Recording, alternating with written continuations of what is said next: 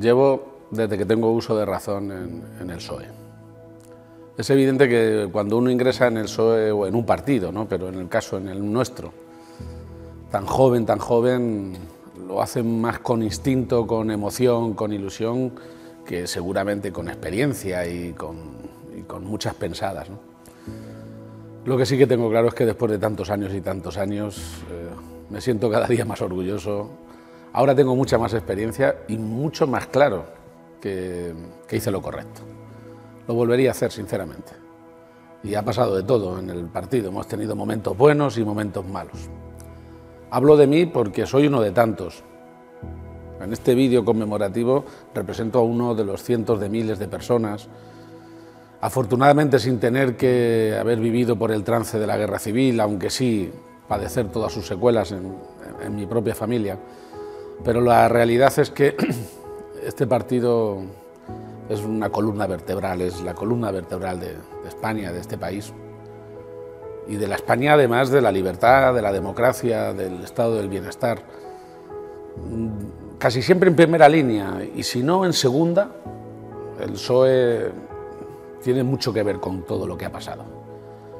Y además yo, cuando reivindico que nuestro país, nuestra historia, sobre todo la más reciente, sobre todo la del 78 para acá, pero también nuestros orígenes, son un motivo de orgullo, que es lo que me evoca tantos años, este enorme aniversario es, esta evocación del pasado desde el orgullo lo es, sinceramente. Es que creo que es una historia de éxito.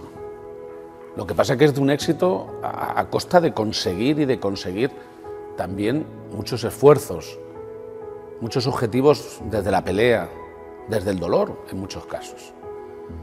Dice un famoso dicho oriental que si quieres, si quieres conseguir si quieres quedarte con la rosa, tienes que aceptar sus espinas.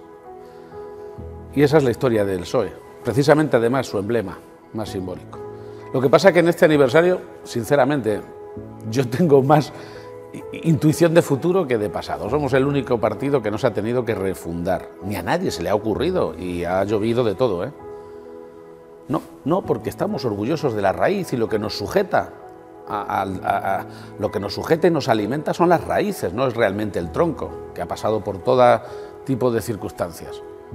Las raíces son muy fuertes, muy fuertes. Y por eso nos podemos renovar, pero ni reinventarnos ni refundarnos. Los principios son los mismos, son muy sólidos, son permanentes.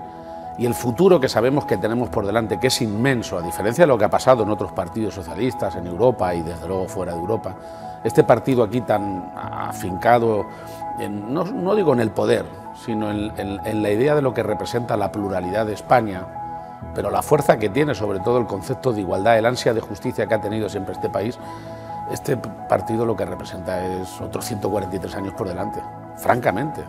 No se me ocurre que pueda hacerse nada en el futuro con los mimbres que tiene el país actualmente sin que tenga un papel capital el Partido Socialista siendo importante el emblema, siendo importante los logros políticos, siendo importante nuestro ideario y también la organización.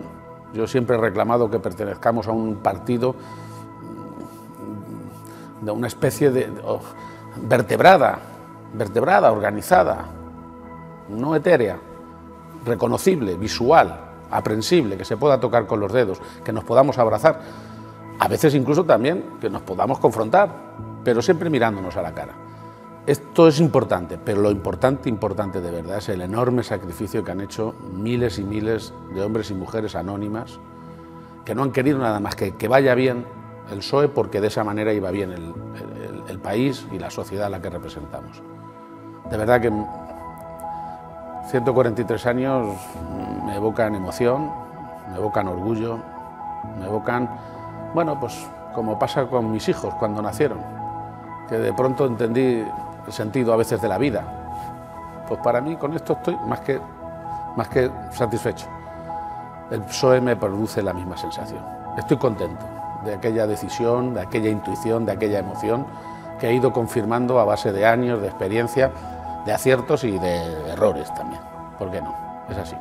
Pero la realidad es que eh, el PSOE es básicamente el factor constante de la Fórmula España y por tanto también del proyecto España.